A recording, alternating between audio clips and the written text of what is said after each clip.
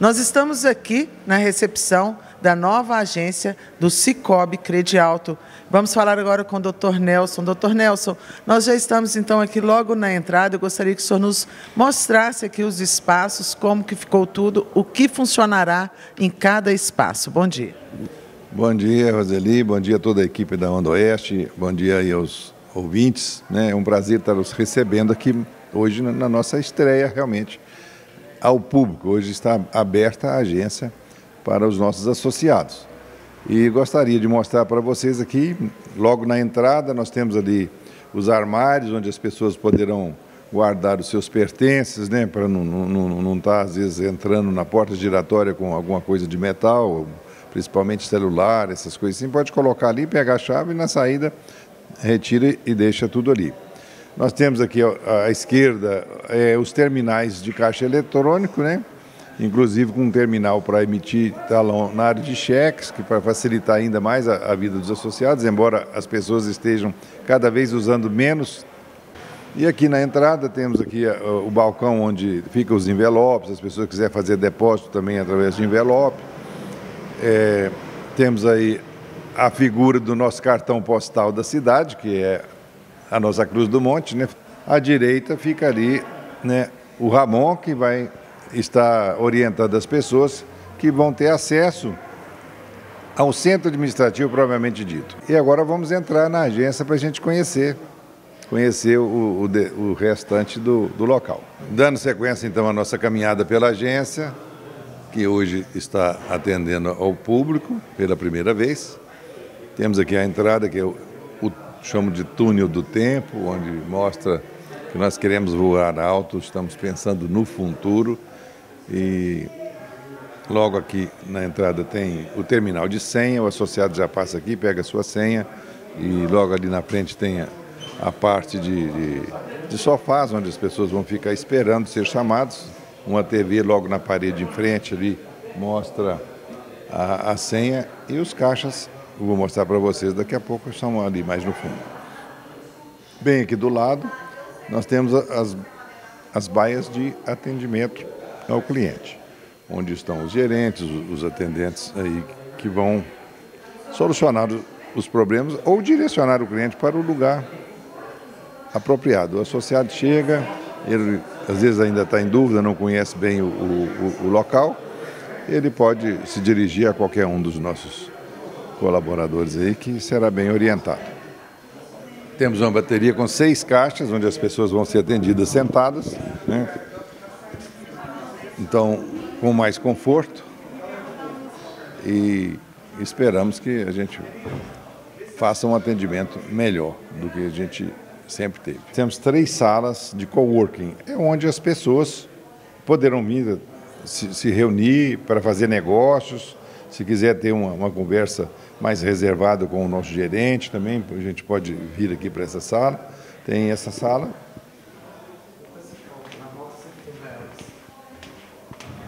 faz uma outra sala um pouquinho maior, inclusive com a TV, que poderá ser feita aqui uma, uma reunião online com outras pessoas, quer dizer, a empresa pode enviar aqui o seu funcionário e o proprietário da empresa está lá da empresa né, conversando e fazendo a reunião juntamente com o pessoal da Crediata.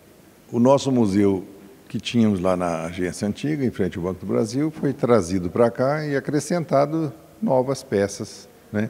e creio que uma delas, muito importante, é a placa que ficava em frente à Crede Alto, que está ali do lado de fora, na entrada do estacionamento.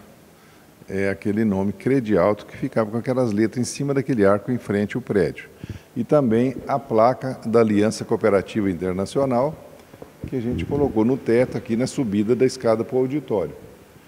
E abaixo da placa nós construímos uma peça que foi feita pelo Eduardo Leonel e pelo Donizete Machado, da Bonelli, é, feita com as plaquinhas que a gente usava para fazer os talonários de cheque no passado. Então, o talão de cheque era feito na própria cooperativa, imprimindo cada plaquinha dessa, o nome do associado, o número da conta dele, o CPF dele, e depois carimbado com aquela outra ali em cada uma das folhas, e aí montava o talão, grampeava e punha a capa nele.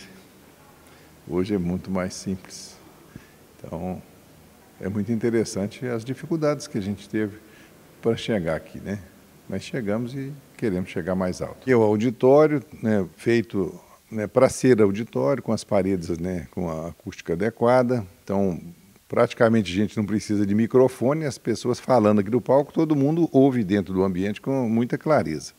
Né? E recebemos de presente do João César Gatti 16 cadeiras do antigo Cinepiranga, que a gente vai colocar, a última fileira vai ser as cadeiras do Cinepiranga, exatamente para preservar a memória também da nossa cidade. Né? Então a gente preocupa muito com a história.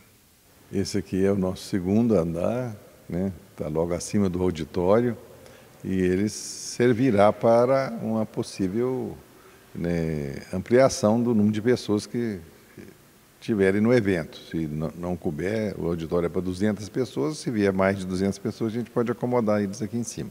O andar é o andar que a gente quer destinar ele para capacitação dos funcionários, educação e desenvolvimento né, dos alunos também do ensino médio, que faz parte do COFEN. Nós já temos quantos inscritos esse ano, Lúcio, você sabe?